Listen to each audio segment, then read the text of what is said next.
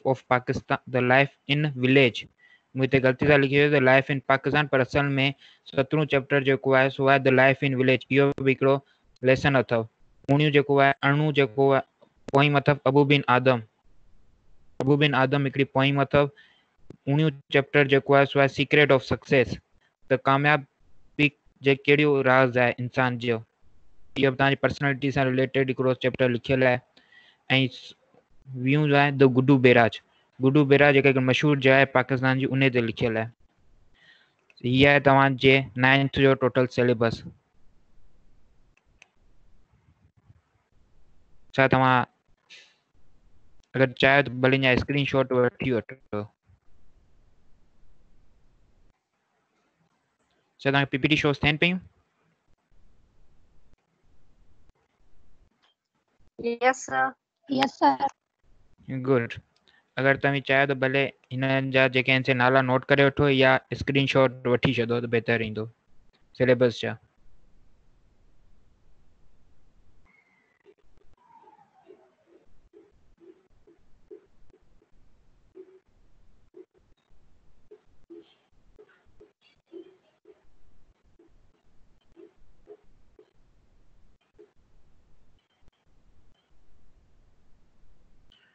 وٺي اچان توهان.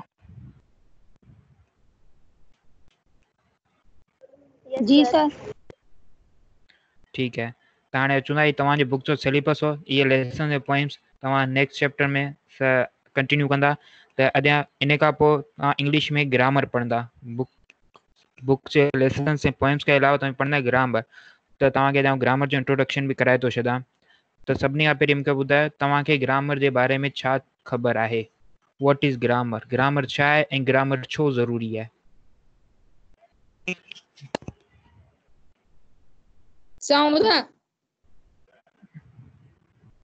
جی ہے بدایو سر کیے بولی کے سکھن لا سے اساں کے ساتھ جو کم کرنا سے وہ گرامر اگر اسا اسا گرامر سکھی آسی تا سر کیے لینگویج لینگویج سکھ سکنا سر؟ گڈ تما جو ہے سو بالکل ایک جواب دینوں گرامر جو سو کھی بھی بولی کے گال لکھن سمجھنے جو طریقہ ہے کھی بھی بولی کے تا اگر گالوائے یا لکھنی ہے کھی بھی بولی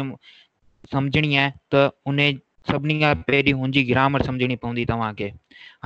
ایکڑی بولی ہوں جن کے پا چی مادری زبان مدر ٹنگ جی پانی سی ہے سیبان پان جو ہے بغیر گرامر سے گال پان پنهنجي وڏن کان ئي مطلب سکي آهي. پر جيڪڏهن پاڻ ڪا ٻي ڪا زبان سکڻ چاهيون ٿا ته ان جي لاءِ پاڻ کي پهرين هن زبان جي گرامر سکڻي پوندي. ته تنهن جي ڪري ڪنهن به ٻولي کي سمجهڻ يا سکڻ جي لاءِ پهرين پاڻ هن ٻولي جو جيڪو آهي سو گرامر سکندا آهيون. هاڻي توهان کي آئون گرامر جا ڪجهه اسٽيپس ٻڌائيندس. پر هيس تائين توهان مان ڪنهن کي ڪو سوال هجي ته ڀلي پڇي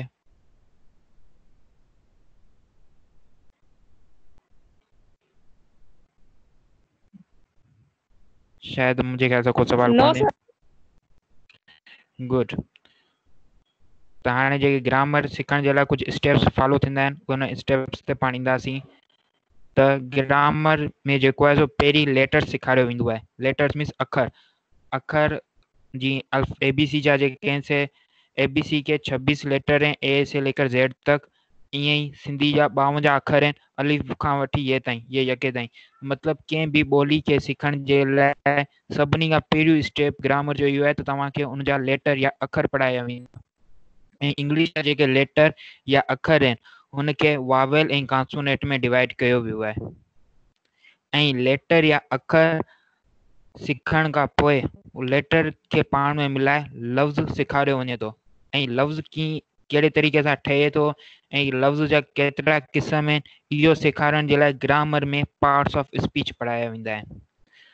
تو گرامر میں لفظ کو سمجھنے کے لیے جو قاعدے اور قانون کا استعمال کرتے ہیں ان کو ہم کمبائن کر کے کہتے ہیں پارٹس آف اسپیچ تو ایٹ پارٹس آف اسپیچ ہیں جن کے جن کے ذریعے ہم گرامر میں ورڈز کو کلاسیفائی کرتے ہیں اور یہ دیکھتے ہیں کہ کون سا ورڈ کا کون سا یوز ہے اور کون سا ورڈ کہاں پہ استعمال ہوتا ہے اور پھر اس کے بعد تھرڈ اسٹیپ آتا ہے سینٹینس کیونکہ ورڈز کو آپس میں ملا کر سینٹینس بنایا جاتا ہے۔ اور گرامر میں سینٹینس بنانے کے لیے جو قاعدے اور قانون استعمال ہوتے ہیں، ان قاعدے اور قانون کو سمجھنے کے لیے ہم جو ہے،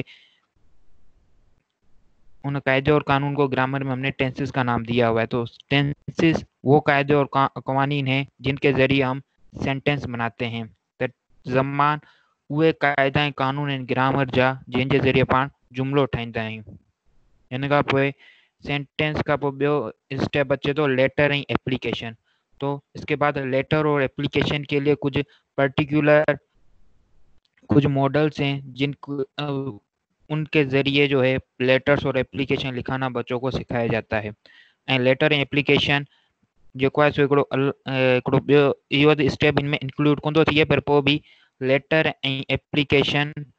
بھیڑ فارمٹ کے ذریعے سکھا وجے تو ان کا ان کا پیراگراف چونت سینٹینس کو آپس میں مل کر ایک پیراگراف بناتے ہیں تو سینٹینس یا جملہ جن پان میں گدجی پیراگراف ٹھہرا پیراگراف کے سمجھائیں پیراگراف کے ٹھائیں گرامر میں قانون استعمال انون کے پا چکے انڈائرکٹ تو ڈائریکٹ انڈائرکٹ ایکٹوائس پیسی وائس سکھارے بارن کے سو سینٹینس میں پیراگراف سکھارے وجے تو پیراگراف جد پڑ میں ملتا تو وہ پیراگراف پڑھ میں ملی کروٹ ٹھائی نوٹ جو سو سکھارن کے لائے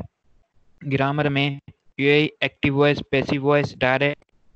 indirect idioms سکھایا ہوتا ہے تو idioms direct indirect actives passive voice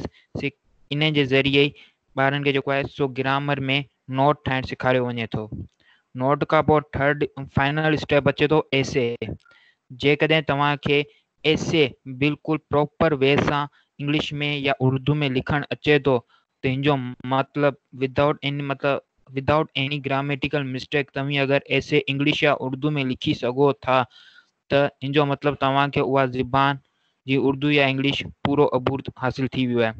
ان کے لیے سو ایسے گھنی پریکٹس کرنی تھی پے ایسے بھی سکھاریس voice direct and direct idioms سکھارا وایا گرامر جو فائنل اسٹپ ہے وہ اے سی انقے سے بارن کے کن بھی لینگویج کی گرامر سکھائی وجے تھی ان ذریعے کو بھی موس وہ زبان سیکھے تو۔